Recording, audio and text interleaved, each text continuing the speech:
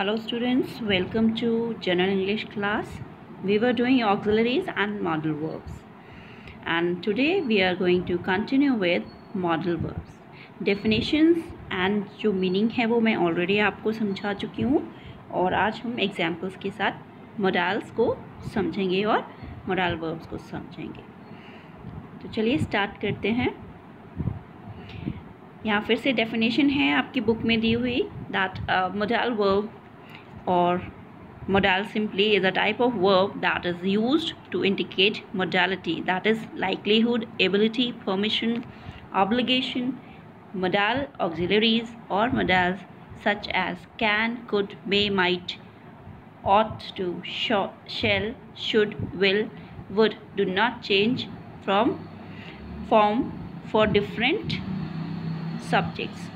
So these are the modals which do not change their form. For instance, we can see here can could is given. Uh, these are used to express ability and to ask permissions. So here example for ability is Rina can easily trek to the highest peak. It means can जो है वो रीना की ability बता रही है कि रीना ये काम कर सकती है सेकेंड एग्ज़ाम्पल है परमिशन लेने के लिए can I talk to my friend in the doctor's waiting room so यहाँ पर क्या है परमिशन सीख की जा रही है the person who is speaking is seeking for a permission so can shows asking for permission here a note is given when we say can and may may is very formal and can is less formal than may so to express theoretical possibility that is theoretical possibility example is given every nation can embrace peace if it understands the nuisance that wars historically have proved so here can is used to express theoretical theoretical means जो हुआ है in uh, written we have that uh, example here that words जो है वो कितनी drastical होती हैं। तो यहाँ ये वो थ्योरी बताती है कि वॉर्स जो है कैसी हैं? डिस्ट्रक्टिव होती हैं। तो यहाँ कैन जो है वो क्या बता रहा है? नेशंस की थेरेटिकल पॉसिबिलिटी बता रहा है कि अगर वो चाहे इस डिस्ट्रक्शन से बचना तो वो क्या कर सकते हैं? पीस को गले लगा सकते हैं। Next is good I could perform well in the class when I was a kid ability past की। हमने कैन जो यूज़ किया था, वो पास्ट फॉर्म में नहीं था, लेकिन ये पास्ट फॉर्म है। देन फ्यूचर परमिशन के लिए भी इसको यूज़ कर सकते हैं। Could I please borrow your dress to wear at the party tomorrow okay और for presentability also we could spend the afternoon just sitting around and talking तो ये एग्जाम्पल्स हैं कैन कुड का यूज़ आप कैसे कर सकते हैं। नेक्स्ट जो है if he practised frequently he could become a renowned singer तो यहाँ भी क्या है? पॉसिबिलिटी या एबिलिटी है, जो सर्कमस्टांसिस से रिलेटेड है। Can you help me with my homework आप सिंपली विलिंगनेस पूछ रहे हैं तो भी आप कैन कुड का यूज़ कर सकते हैं। नाउ कैन वर्सेस में कैन जो है परमिशन के लिए यूज़ होती है। Can I speak now I don't know if you can but you may depends on the level of formal और informal context of the situation simple भाषा में कहें तो मे जो है वो कैन से ज़्यादा फॉर्मल है। मे जो है वो फॉर्मल है कैन आप इनफॉर्मली यूज़ कर सकते हैं। Then is may and might now may जो है वो और माइट का यूज़ कैसे करते हैं? दोनों का परमिशन के लिए भी होता है। माइट जो है पास्ट टेंस है मे का। ठीक है? तो माइट जो है, ज़्यादा टेंटेटिव है मे से। So may I leave this document sure ये एग्ज़ाम्पल है, यहाँ भी आप परमिशन ले रहे हैं कि क्या मैं इसको यहाँ छोड़ दूँ। If I finished my project might I leave early so यहाँ पर क्या बता रहा है कि अगर परमिशन जो है ये फिनिश हो जाता है मेरा प्रोजेक्ट सॉरी तो क्या है? मैं शायद जल्दी जा सकता हूँ। दूसरा है पॉसिबिलिटी के लिए। तो पॉसिबिलिटी मोस्टली हम इंटरचेंजेबल करते हैं इसके साथ में प्रेजेंट फ्यूचर फॉर्म्स में। Might have plus past participle past form में आ जाता है। So she might go on this vacation with me she may be going on this vacation with me और she might have left for the party by now ये सारे might के may के uses हैं। Now will and would is also there ये भी इंटरचेजेबल है but वहाँ पर फाइन डिफरेंसेस हैं जो आपको नोटिस करने हैं, ध्यान रखने हैं। That the contract form double L is very frequently use for will contracted means short form will can be use to express willingness so first example for willingness is I'll finish this work soon if you agree to help me with it. So I will की जगह I'll जैसे मैंने आपको ऊपर अभी हमने पढ़ा था that the short form or contracted form is used mostly for will. We are going to the movies. Will you join us? So we are going to the movies. Will you join us? Next is it can express intention. I'll go to the theater after I finished all this work. Intention show हो रही है। क्या करना चाहता है person वो पहले work को फिनिश करना चाहता है then he will go to the theatre I will meet you tomorrow अब यहाँ पर स्पेसिफिक हो गया, कल ही मिलूँगा। Humidity will ruin my hair ये टाइमलेस है कि ह्यूमिडिटी जब भी होगी तो मेरा जो बालों का टेक्सचर है या जो बाल मैंने बनाए हैं, वो सब ख़राब हो जाएँगे। The river will overflow its banks every spring so यहाँ पर विल जो है एक हैबिचुअल एक्शन शो कर रहा है।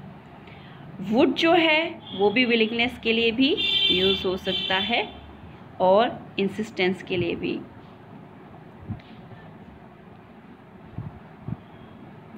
Would you please drop me off at Carrie's? Now you would you have ruined everything so yeah it's you have i knew you would act that way now characteristics characteristic stick activities जो हैं वो भी यहाँ पर हमें देखने को मिलती है जिसमें हम वुड यूज़ करते हैं after work she would bought the train from this station customary habit है कि जब वर्क कंप्लीट हो जाएगा तो वो इसी स्टेशन से train पकड़ेगी। He would be late for the meetings every time typical और कैजुअल पॉसिबिलिटी यहाँ पर है कि वो हमेशा ही लेट होता है। ठीक है? उसके लिए ये चीज़ क्या है? नॉर्मल है। अब हाइपोथेटिकल जो मीनिंग है, उसको भी वुड से हम एक्सप्रेस कर सकते हैं। नाउ हेयर वर्ड क्लॉजेज या यू शुड नो के फ्रेजेज एंड क्लॉजेज क्या होते हैं।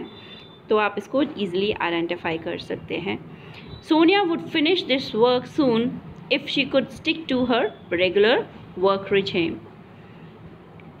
next example है। Finally would can express sense of probability. So, this probability is shown by would i hear a whistle. That would be the five o'clock metro train so यहाँ possibility क्या बता रहे हैं कि एक विसल जो है वो सुनाई दे रही है।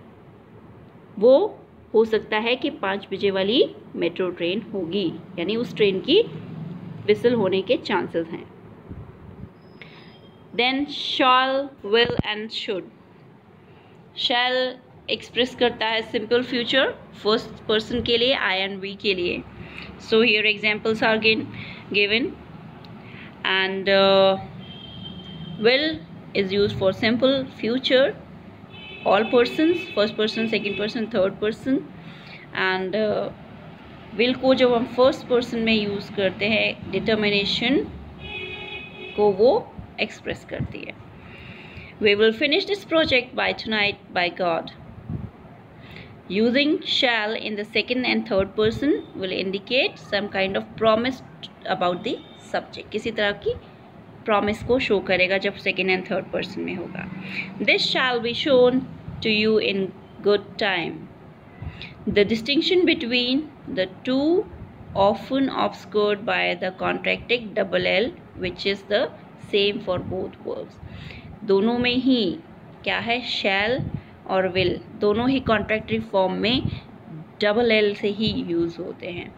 तो इस चीज़ का आपको ध्यान रखना है।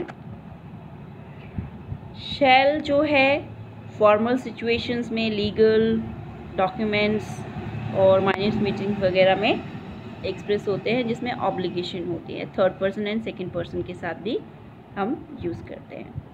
The board of directors shall be responsible for payment to the employees ये एग्जाम्पल्स हैं इसके शैल के यूज़ के नाउ शुड ये मोस्टली जो है वुड से रिप्लेस हो जाता है लेकिन फिर भी इसको हम यूज़ करते हैं to mean ought to. You shouldn't be writing to him now. So, this is the example. You shouldn't be writing to him now. If you think that was amazing, you should have seen it last night. So ये examples हैं। तो British और American English का जो difference है वो भी थोड़ा सा आपको ध्यान में रखना है।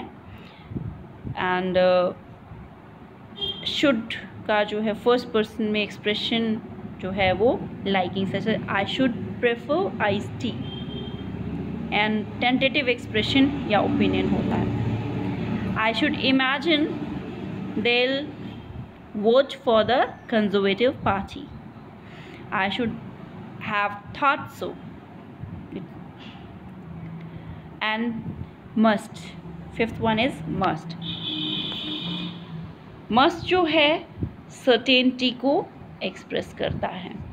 So let's see the example this must be the book which she wanted certainly certainly show कर रहा है कि यही वो बुक है जो उसे चाहिए थी student must bring the admit cards to the examination hall necessity भी आ गई certainty necessity you must take a walk to unwind yourself after a hard day तो वो रिकमेंडेशन दे रहा है strong recommendation okay and prohibition भी must से शो होता है.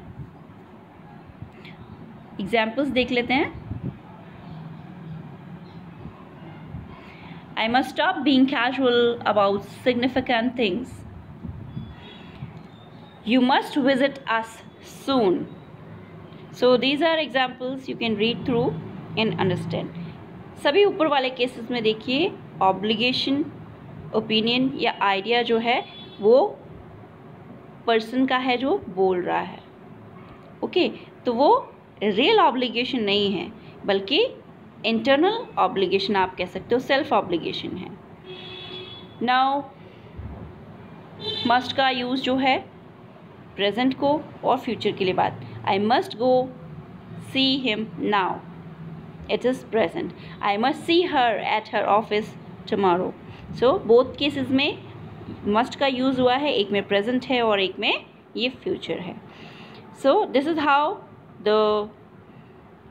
auxiliaries and modals work and this much is for your general English paper till the next video enjoy and try to solve the uh, exercises which are available to you for the deeper understanding of this topic. Thank you.